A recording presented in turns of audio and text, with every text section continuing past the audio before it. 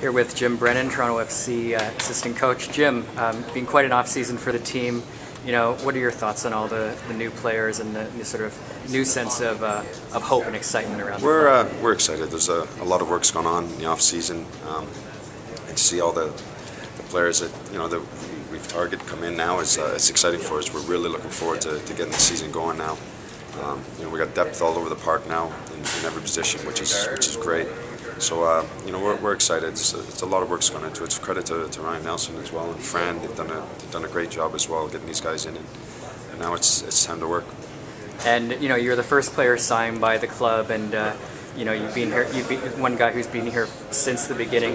You know, how much are you looking forward to like the success that's now ex- yeah, expected? I, I, I can't wait. Um, you know, you're right. I've been here from day one, so I've seen uh, seen pretty much everything.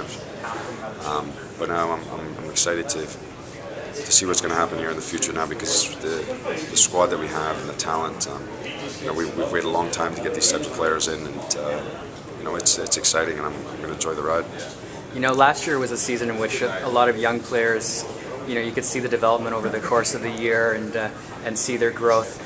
Um, now a bunch of veteran players have come in, you know, and you've got sort of, you know, what most teams would like is one veteran and, and, and one you know talented youngster at most positions. Yep. How beneficial is that for the young players now that they're going to be exposed to, it's, it's to these world class guys? Big time. Um, you know this this is going to only help help their game.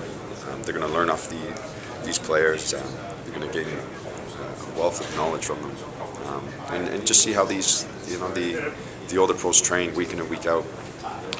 There's no better guys to, to learn and trade than off of these guys that we have now that, that have come in. So these young boys are excited as well. They're looking forward to it.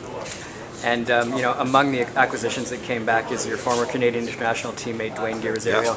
I'm sure you've had a chance to speak with him. How excited is he about the upcoming season and uh, you know his second go around with Toronto? Dwayne, Dwayne's really excited. Um, you know, that's one of the first things he said. He goes, "This is this is amazing." He goes, uh, you know, I'm really looking forward to it. And uh, we, have had some good chats about it. Um, you know, the, the, guys can see where this club's going, and, and, everybody wants to be a part of it now. So it's uh, he's excited for it. And, he's uh, he's up for the challenge. Uh, looking forward to the season and uh, the Canadian Championship tournament you know, another former teammate is now a head coach in the MLS, Carl That's Robinson. Right, yeah. Are you uh, looking forward to when Toronto faces off against uh, Vancouver? And have you, have you, spoken to Carl about, uh, you know, his move to the head coaching position? Yeah, no, I, I, I texted Carl as soon as he got it and said congratulations. Um, you know, that's what he wanted to do. Um, so, you know, I, I, wish him well. I hope he does uh, does very well out in Vancouver. Um, but, but I mean, at the end of the day, when we play them, I hope uh, I hope we, uh, we get the win. And one final question for you. Obviously, on paper, the team looks great. Um, there's now the question of gelling and, and putting everything together. What are the important things for this club over the next few weeks as you try and make this go from a team on paper to a team that's cohesive on the pitch? It's it's, it's not easy. It's hard work, um, but we feel we, have got a great staff, and uh, we, to be honest, we we got a great bunch of guys. Um, you know, they they're gelling together already. They've got great camaraderie. Um, you know, they, uh, they, even in training, you can see they're fighting for each other. They're working hard for each other. So uh, we we know that's not going to be a problem. All we got to do is just prepare them and get them uh, get them ready for that first game of the season. Thanks very much, Jim. Okay.